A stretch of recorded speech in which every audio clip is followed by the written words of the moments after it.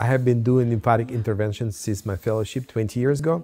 One of the major challenges of a lymphatic to, to, to do procedures and study and research lymphatic system uh, is lack of the imaging and, and, intervention. So what happened during the last 20 years, uh, we and others uh, developed uh, multiple techniques of imaging and uh, intervention of the lymphatic system, and that's what moved uh, things forward. And by using this new technique, we actually can understand the lymphatic flows, the lymphatic anatomy, and how does it affect the different disease processes. For the last 20, 12 years, I've been doing lymphatic intervention in children.